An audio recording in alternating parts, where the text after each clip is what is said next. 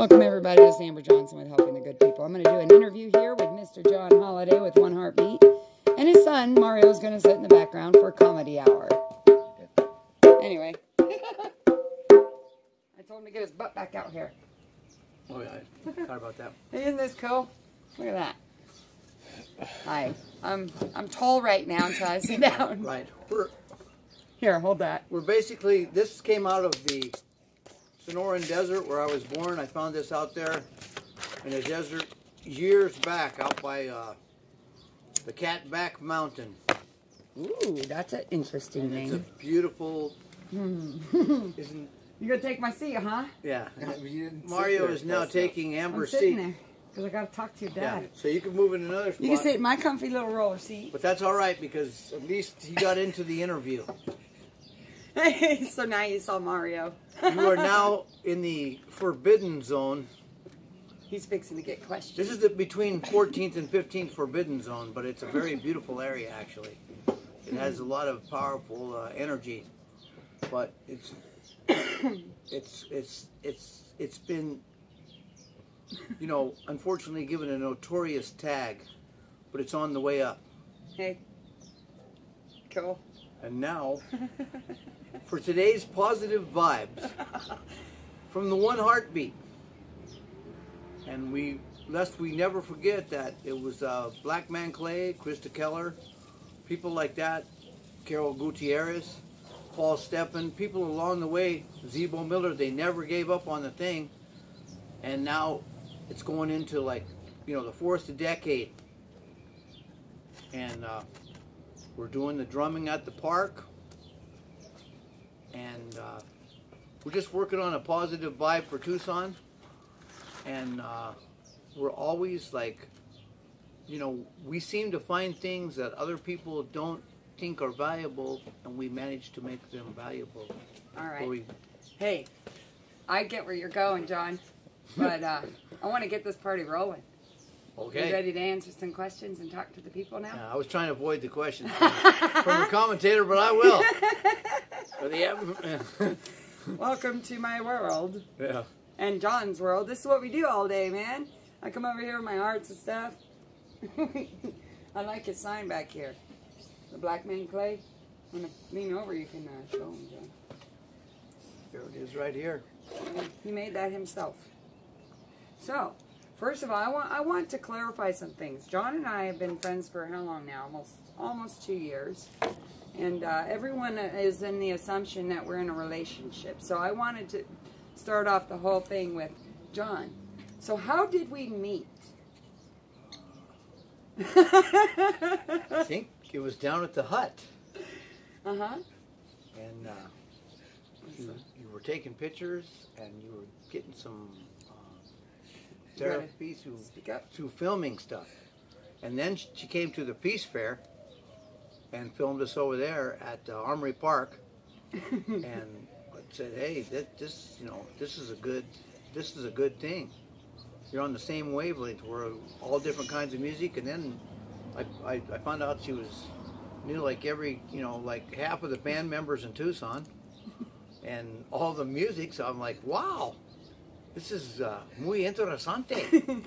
this is an interesting thing to know, you know. So, and then I found out we're both Libras and uh, have a little bit of the uh, Libra power. yes and the flowing wells roots. So that's even crazier. yeah. So it's quite synchronistic. So yes, she is my friend. did you grow up here? Yes, I did. I grew up in Tucson, Arizona. I, I grew up on the corner of Prince and Flowing Wells. And we had an orchard, and cows, and goats, and everything. And now you look at it, you would never know. They, as my brother David would say, that's not progress, that's just change. Can you believe, guys, that this guy right here, and the reason why he is looking the way he does is because he does a lot of dancing, a lot of moving around, and a lot of like doing things. You know, just move, move, move. High metabolism, high energy, just always positive and on the upbeat. And you can tell when he's down. But can you believe that he is 30 years older than me? Yeah, that's what I said. Yeah, right. I'm telling you, this guy's got some energy. He's got some stories, and he's very, very interesting. Well, so, I can believe it.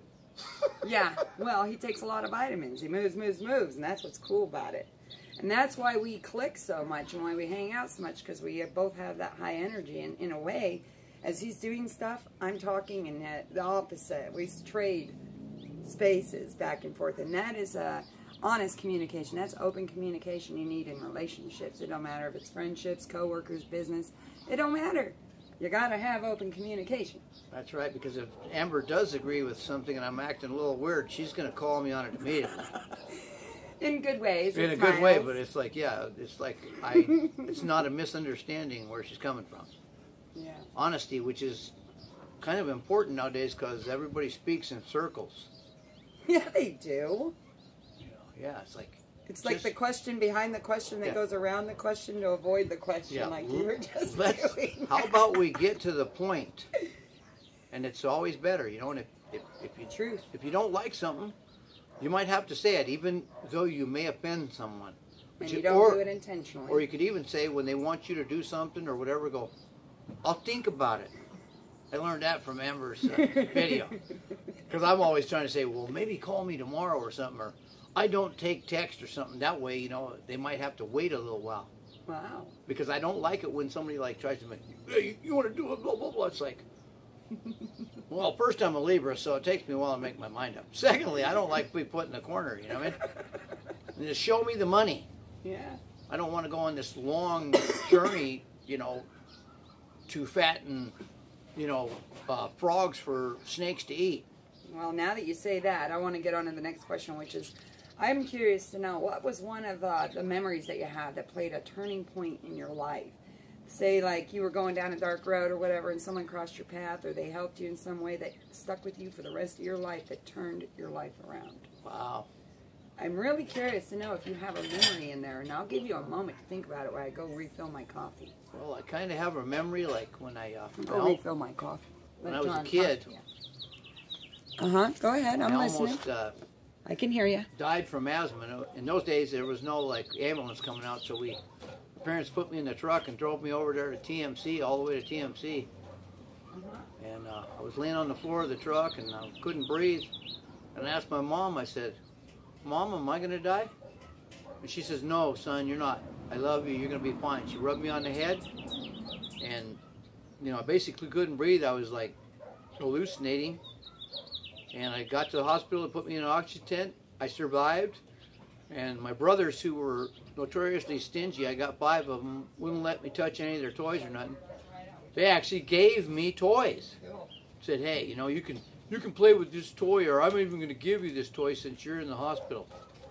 And you know, it kind of reiterated that, in spite of the, uh, you know, our having five brothers and our bar- barbarian lifestyle, Five Yeah, brothers? that my brothers What? loved me. So it was six boys. My mom had six boys and my dad to deal with. You know. Where are you from? I mean, well, no, no, I didn't mean it like that, but like, so your family, like, were they really close? Did you have, you know, a huge family with multiple cousins? I have a monstrous family. They're not as close as they should be, but uh, I got people from all over the place. And I got family in Utah, Chihuahua, What's your spirituality? Safford, Pima, Thatcher, uh, Idaho. What's, all your, what's the spirituality base like? Do you have a religion that you follow, or no, I don't. I, Nothing? I'm a Christian, okay? but I also I accept good things from any religion, and I don't judge any religion. But I believe in, uh, you know, I think Christ's principles of love thy neighbor and forgiving people is a stupendous concept. It's really hard to live, Yeah, but it's you know it's it's hard to beat.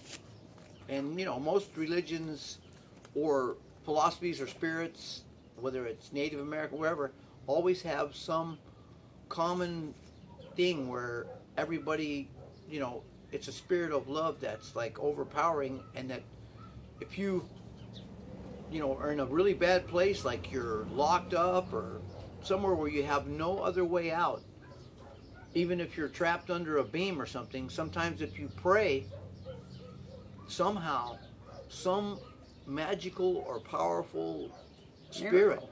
miraculous spirit, I believe in miracles it happens. and I've experienced it myself. So, I, you know, I, I, I think everybody should try to connect with some kind of spiritual uh, force in their life. And a lot of people, they don't have that or they don't believe in anything. Or they just don't have a mentor, uh, someone to guide them or to tell them what's good and what's bad. Right. They just have to figure it out. And that was kind of my lifestyle growing up on the streets here in Tucson since 85 as a runaway. You know, you have to rely on that. You have to rely on that source and seek your soul tribe and your family as best you can. And that's what leads me to the next one I really want to know is who's your mentor? If you had to choose someone that you looked up to that kind of helped you, Well, my first mentor, of course, was my dad because right? he was a fanatical workaholic individual that taught me a you know the work ethic and how to survive because you know it's like he had us out in the hot sun and we had to feed animals and the whole works and it was like it was good for us. And then after my dad passed away basically it was strange that's when i met right around that time i met black man clay and he was kind of like uh, you know took my dad's place because he was also you know a guy that worked at least 12 or 13 hours a day. And then went out and partied and you know and said you know brought i'll a lot of love to and brought a lot of love. He helped people out all the time. He'd lend them money. He'd fix stuff for them he'd lend them a car. He'd and then he would show up at every thing and just bring a huge amount of energy. And when a band you know like neon prophet or something is playing clay would show up and bring you know and, and uh, 25 more people are coming with him you know? He had that kind of charisma and that kind of uh, joy. And uh, that's when we all got together and my brother David and I met him and then we all started uh, about in like about 1978 79 80 in that right in that period we all met at the park with Krista Keller Zebo all kinds of people and we decided to start the one heartbeat Can I ask you a question? I saw one of his videos of him sitting in the orange chair. It was like a lounge, a rocking chair or something that pulled back. And he was talking about his definition of one heartbeat and how it is to him. Do you remember him explaining you any ways of like for him on how it got created, what it was about, Yes. the cycle? Yeah, he always believed. That's why he said in the one, it's the spirit of the one. It's like in the reggae, he was influenced by Bob Marley too, but also and Christianity. Growing up in the church, whatever he, wherever he grew up in San Antonio, Texas, so he believed that God was the one, or but whatever you want to call it, and Source. the source and we're all in the one. And you know he was a very like inclusive person. So like when he went in the military he ended up being the guy help helping to integrate in the air force and stuff because he was like that type of person. And i saw that and i you know that's kind of the way my dad taught me. My dad was in the military it's like you know it doesn't matter what race you are uh, you can all work together and you can accomplish things and it's a beautiful thing. And black man clay was like that was his whole thing is like no matter where you come from no matter where you've been no matter what you look like you could join right in. Ah, I love that. one heartbeat and he always said one beat at a time. It's like if you go to do something and it's a monumental task you know you're going to have to do it one shovel at a time or one load at a time or one whatever you got to do but it's the starting point but if you have you know a rhythm to it he always put a rhythm to everything when he worked he would like I seen him do an acre of weeds with a hula you know, hoe. You know what I'm thinking of right now that just came to my mind, and before I forget it is the, what comes to my mind is like people are so busy chasing time when time really doesn't exist. Because you're in the now, you're in the moment, That's right. And it- you have to accept every moment and every person for that moment. No matter where they come from or how crazy they are. that's right. you, you you still have to deal with it, you know. Yeah. And it can be It's all one. yeah, and it can be like extremely frustrating when you love someone and they're at a point where they're only into you know their own self-interest or whatever or like control of people like we were talking about Manipulators. manipulators and they want a group of people but they want a group of people to serve them and that's the exact That is opposite. not our aisle. That's not up our alley at no, all. No, and Black Man Clay never. He served others. He never worried about, you know. He'd get paid money and he'd get us all kind of gigs, and he would say, "I'm not keeping none of this money. I don't need it." And he'd pull out a wad of money Very and, generous. And divide it up to the whole band. Mm. You know, we'd say, "Well, you know, that's a lot of money you're carrying," and he'd always say, "Well, my dad always said it's always good to have a good roll of bills in your pocket." But he would call the whole band together and say, "You know what? I'm, I don't want any of the money from these gigs." And he got us gigs with La Frontera, with schools, all kinds of stuff. It didn't really matter. How long now? About 30 plus years? Yes, a little over 30 years. 30 years, one heartbeat. Yeah. Like when we started the group at Reid Park, you know, I put one heartbeat. But for me at the time, when we were sad and we were alone uh, right after the lockdown, I'm not kidding, that weekend we were at the Reid Park. And I told them we have a place to play music. And we went back every single week. And it's flourished into something beautiful even over this last year. But it's still still part of that. John is one heartbeat, guys. So when I say Sacred Sunday Circles with one heartbeat, I'm referring to John because I only know one heartbeat through him. I never met Black Man Clay, but I've heard so many stories and heard him speak, and he just touched my heart. So I like to think that we're still carrying on that tradition at Reid Park every week, and we're going to continue to do that too, as he's become one of my mentors too. John playing music. Now, I'm, we can jump into another video later as far as continuing on with another interview, but I wanted to just go ahead and end this two ways. One last question, and then I want you to play us a song. Okay. Play me a song. All right. What? What question is that? Come on, John. Okay. Okay. if you could say one thing to encourage someone, what would that one thing be right now in this moment? Don't think, just speak. I would say don't allow discouragement or fear or negative thoughts, you know, sweep them out of your life. Don't, eh, you know, when you're feeling down, and we all have that, where that voice is speaking to us, ah, it's not worth it, people are this or that. Always go say, no, there's a positive side and there's something better waiting right around the corner. Never give up. As Pato Banton said, never give up and never give in. And, uh, you know, that's basically my uh, thing. There's always, the moment is beautiful. Always enjoy the moment. And then there's always something next happening. There's always going to be something interesting and fun. And look for people around you that are positive. You know, find out the people that actually would say something good to you and say, What are you doing good today? Or I like what you did. And then you could say that to somebody else, and guess what? It passes all the way around the world. Say a good thought, a good thing. Black Man Clay, you could not get him. People tried to gossip. You could not get him to say a bad word. Somebody did something stupid. He lent people money, and then he was mad. He'd, you know what he'd say? Well, I guess they just took a different path. you know what? I just said that in my other video that I just did, actually, about that. About how I love you haters. And, and not only that, the more you hate, the more love I give.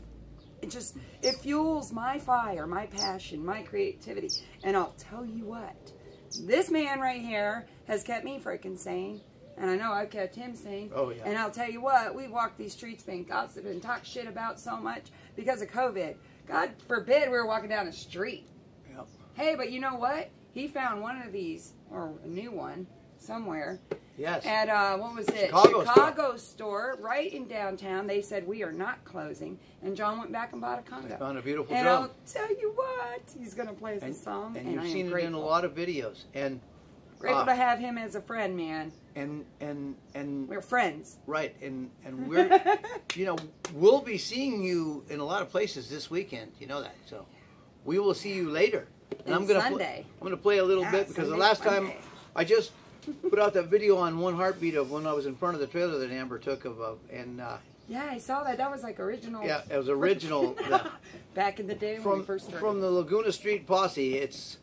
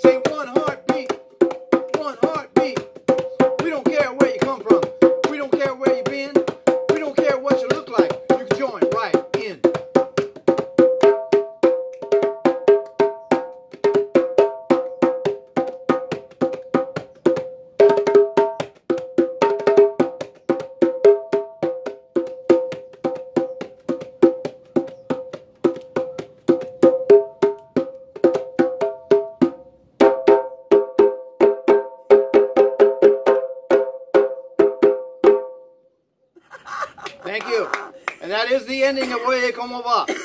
and I can tell you right now, you like what you hear, you see, whatever, like, subscribe, and share to the channel. Um, also, you'll see us on Sundays at Reid Park, anywhere from 11 to 4 o'clock, 5 o'clock p.m., I guess. And the reason I'm wearing this Marana football shirt is my son James plays fo- football at Marana.